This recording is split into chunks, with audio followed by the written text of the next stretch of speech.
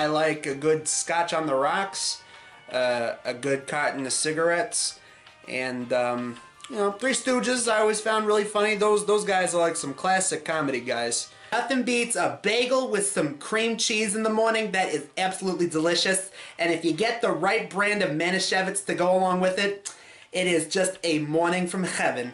A good case of whiskey or maybe a six pack and uh, my banjo and my pickup truck. I just want to let you know that I am not a fan of big business at all, okay? Kale, skinny jeans, Twitter, the Raiders. To You, I will describe what I think is the perfect afternoon.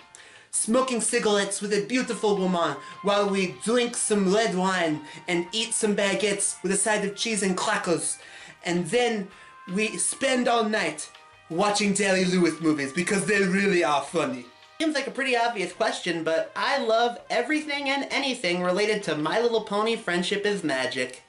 I would personally say that uh, KFC is good, though Popeye's pretty good. Uh, I had never had Bojangles, but I'm willing to try it. Maybe me and my wife gorge ourselves on chocolate cake after we do some methamphetamines and bath salts. My favorite show of all time is Ed, Edd n Eddy. I used to watch a lot of these uh, edgy comedy shows, you know, stuff like South Park, Family Guy, Chappelle Show. Obviously, it formed my kind of sense of humor. Uh, I really enjoy anime. Uh, you know, I like all the classics. I grew up watching reruns of stuff like Sailor Moon and Dragon Ball, and then later Dragon Ball Z. And then, of course, you get into stuff like Naruto and uh, you know Kill la Kill, Attack on Titan, MTV, Fall Out Boy, Dane Cook, MySpace. I love everything and anything connected to Kim Possible. You want to know two TV shows I've gotten into lately? I love Hell's Kitchen and I love Knight Rider. They're both fantastic shows, and I got to give a shout out to my friend Shannon for getting me into them. They're just fantastic shows. I grew up watching stuff like VeggieTales and 321 Penguins and the Larry Boy cartoon and other shows from Big Idea Productions, as well as shows like Bible Man. Obviously, since I'm just the future version of MediaWiz, I like the same stuff that he does. Ever since I was a kid, I always was interested in movies. I always watched a lot of movies, and I always wanted to like direct movies and write movies. Definitely gotten more into Pure Flix. Uh, their films, including stuff like the God's Not Dead series. My favorite movie of all time is Tenacious D and the Pick of Destiny. Even though it was a very shortly lived show and didn't have a whole lot of merchandise made in its name, I love everything and anything related to my life as a teenage robot. I also love Adam Sandler movies. I know they're not for everyone, but I love me some Happy Gilmore and Billy Madison. And uh, uh, Don't Mess with the Zohan is an extremely underrated one in my opinion. Country music. Don't you get me started on my damn country music. Tim McGraw, Garth Brooks, Toby Keith. Rap music, uh, my biggest inspiration is obviously Rucka Rucka Ali. That man is a god among musicians. I would say I love anything and everything related to Powerpuff Girls, but uh, thanks to that leaked script for that upcoming CW show and the 2016 reboot, I sadly have to put an asterisk in there and say that I love everything relating to the original Powerpuff Girls show. Love Tenacious D's music.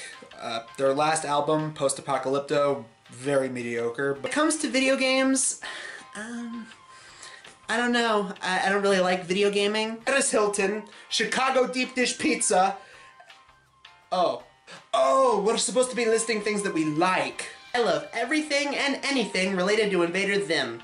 Because it truly was the most screwed over show on Nickelodeon. Eat your heart out, MLAATR fanboy. I ain't much of an avid video game player, but, you know, some of the best video games out there are some of these old school ones. You know, Super Mario Bros. 3, the original Sonic the Hedgehog trilogy on Sega Genesis, uh, Donkey Kong Country and Donkey Kong 64, all the Rareware Donkey Kong games, uh, Ninja Turtles 4, Turtles in Time on SNES, that shit is my jam. I prefer PC gaming over console gaming. I'm very partial to Nintendo, and I think that's mainly because the very first console I ever had was the GameCube.